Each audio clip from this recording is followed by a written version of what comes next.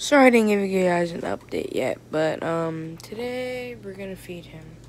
So today I have roaches for him. It may look gross, but for him, they're very nutritious and healthy for him. As you can see, I have one in my tweezers, so we're gonna feed him. Oh, look at that tongue. Listen to that crunch.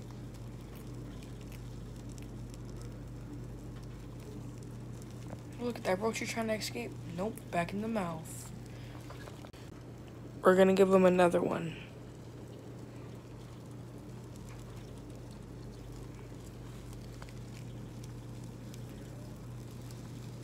This is his little home.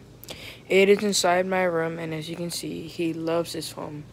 I'll catch you guys on another update for him. Catch you later. Shoots.